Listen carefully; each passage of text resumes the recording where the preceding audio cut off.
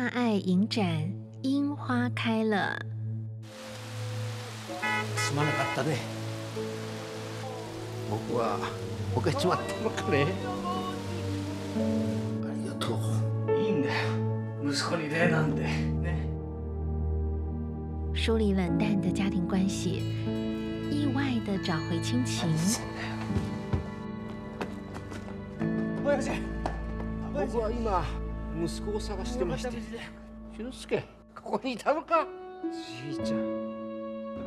凝聚家人的爱，陪伴爷爷找寻记忆中的童年景色。